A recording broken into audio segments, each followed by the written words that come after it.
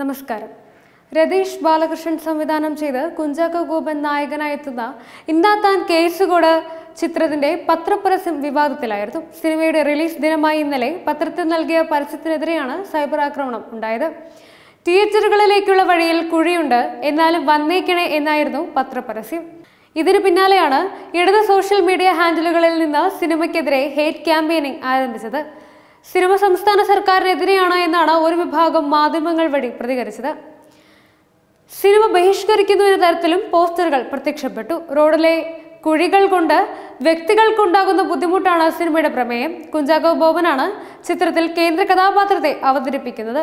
S D K ഫ്രെയിംസിന്റെ ബാനറിൽ നിർമ്മാതാവ് Santhosh T Kuruvila നിർമ്മാണവും കുഞ്ചാക്കോ ബോബൻ പ്രൊഡക്ഷൻസ് ഉദയ പിക്ചേഴ്സ് എന്നീ ബാനറുകളുടെ കീഴിൽ കുഞ്ചാക്കോ ബോബൻ സഹനിർമ്മാണം നിർവഹിക്കുന്ന നാഥാൻ കേസുകോട് ഹാസ്യ പശ്ചാത്തലത്തിലാണ് അവതരിപ്പിക്കുന്നത്. സൂപ്പർ ഡീലക്സ് വിക്രം എന്നീ ചിത്രങ്ങളിലൂടെ പ്രശസ്തയായ തമിഴ് നടി ഗായത്രി ശങ്കർ അഭിനയിക്കുന്ന ആദ്യ മലയാള ചലച്ചിത്രം കൂടിയാണ് ഇത്. അതേസമയം ഇന്നാത്താൻ കേസുകൂട എന്ന സിനിമയ്ക്കായി നൽകിയ പരസ്യം കേരളത്തിലെ സർക്കാരിനെതിരല്ലെന്ന് നടൻ കുഞ്ചാക്കോപൻ ഇന്നലെ വ്യക്തമാക്കിയിരുന്നു. ഏതെങ്കിലും ഒരു രാഷ്ട്രീയ വിഭാഗത്തെ മാത്രം ലക്ഷ്യം വച്ചല്ല ഈ സിനിമ എടുത്തിരിക്കുന്നത്. മാറി വരുന്ന രാഷ്ട്രീയക്കാർക്ക് സാധാരണക്കാരന്റെ അവസ്ഥ മനസ്സിലാക്കുകയാണ് ഈ സിനിമയിലൂടെ ലക്ഷ്യമെന്നും കുഞ്ചാക്കോ ബോബൻ മാധ്യമങ്ങളോട് പറഞ്ഞു. സിനിമയുടെ റിലീസ് ദിനമായ ഇന്നലെ പത്രത്തിൽ നൽകിയ പരസ്യത്തിനെതിരായി ഉയർന്ന സൈബർ ആക്രമണങ്ങൾക്ക് മറുപടിയായാണ് നടൻ ഇക്കാര്യം പറഞ്ഞത്. ഞാൻ ആസ്വദിച്ച പരസ്യമാണത്. സിനിമ കണ്ടു കഴിയുമ്പോൾ ആ പരസ്യം മുന്നോട്ട് വയ്ക്കുന്ന കാര്യങ്ങൾ എന്താണെന്ന് കുറച്ചുകൂടി നിങ്ങൾക്ക് എല്ലാവർക്കും വ്യക്തമാകും. ആളുകൾക്ക് അത് കൂടുതൽ റിലേറ്റ് ചെയ്യാൻ സാധിക്കും. ആളുകൾക്കും അത് റിലേറ്റ് ചെയ്യുന്നു എന്ന് തന്നെയാണ് പ്രേക്ഷകരുടെ പ്രതികരണങ്ങൾ കണ്ട് എനിക്ക് മനസ്സിലായത്. ഈ സിനിമയിൽ കുഴി മാത്രമല്ല പ്രശ്നം. കുഴി ഒരു പ്രധാന കാരണമാണ്.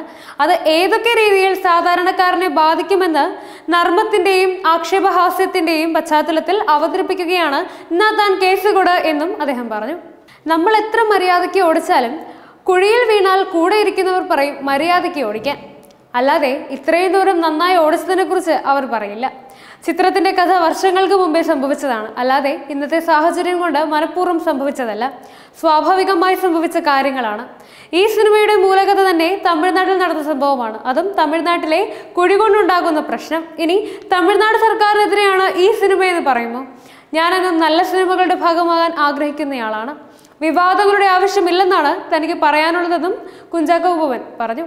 തിയേറ്ററുകളിലേക്കുള്ള വഴിയിൽ കുഴിയുണ്ട് എന്നാലും വന്നേക്കണേ എന്നായിരുന്നു പത്രപരസ്യം. ഇതിന് പിന്നാലെയാണ് വിവാദങ്ങൾക്ക് ഇടവച്ചത്. Web desk Tathwamayi news.